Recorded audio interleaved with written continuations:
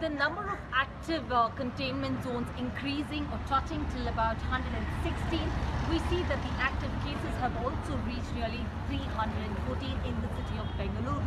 In fact, there is a jump of nearly 62 containment zones as compared to Monday when the BBMP had reported nearly 52 of the containment zones. In fact, we are right now here at Bazaar Street in Halsuru in the Bengaluru. This is one of the oldest markets from temples to stores, fancy stores, stationery stores, including especially florists. Uh, this particular lane has been completely sealed down by the district officials, including the Bangalore police. You can see they have barricaded the area. Like I did talk about how there are over 200 commercial establishments in this very particular zone. And it was on Friday morning where we see after one person tested positive for coronavirus, the entire area had to be sealed down.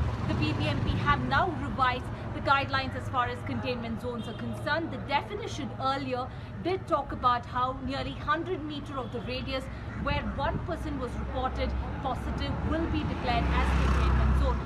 But over time we see the definition has changed.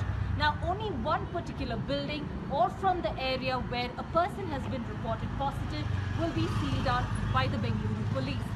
Now considering the fact that there has been a spike in cases over the last 8 days in the city of Bengaluru, we see the containment zones have also increased drastically to 116.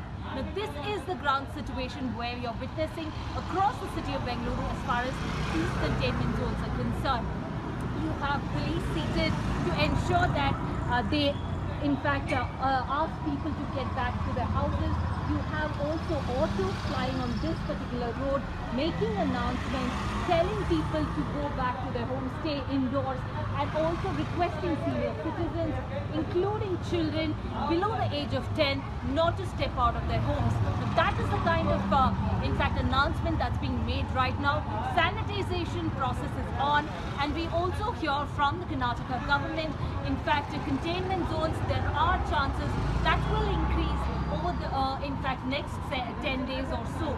So uh, for now what we understand is that the Karnataka government have increased also the teams as far as the teams who will be doing door-to-door -door surveillance, also inspecting people who are staying indoors as far as uh, the asymptomatics are concerned. So for now, Medical Education Minister Sudhakar has also informed that nearly 800 teams will be formed to carry out the door-to-door -door surveillance and also to understand the ground situation, whether or not the containment zone should be increased or not.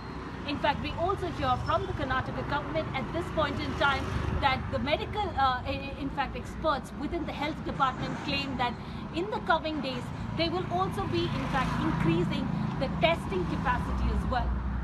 With video journalist Vinay, this is Sridhar reporting from Now in Bengaluru.